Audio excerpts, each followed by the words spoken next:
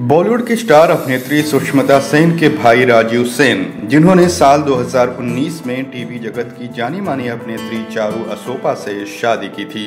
शादी के बाद इन दोनों को एक बेटी हुई, लेकिन शादी के चार साल बाद दोनों ने तलाक ले लिया। इन दोनों ने जून 2023 की शुरुआत में तलाक लिया। हालाँकि तलाक के बाद चारू और राजीव एक दूसरे के साथ फिर रहने लगे थे। इसी बीच राजीव ने एक बयान दिया है कि वह अपनी पत्नी चारू के साथ अपने रिश्ते में वापसी करना चाहते हैं। चारू ने भी राजीव के इस बयान पर अपनी प्रतिक्रिया दी है। चारू ने हाल ही में बातचीत करते हुए राजीव के इस बयान पर जवाब देते हुए कहा कि, पहली बात, मैं इस बारे में कुछ भी नहीं जानती हूँ। मैं नहीं जानती हूँ कि मैं क्या कहूँ।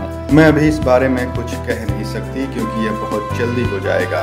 मुझे नहीं पता कि वह राज़ी हुई सब क्यों कह रहे हैं, और वो भी इतनी जल्दी। हमारा तलाक 8 जून को फाइनल हो गया। मुझे लगता है कि उन्होंने अपनी भावनाओं में आकर ऐसा बयान दिया है।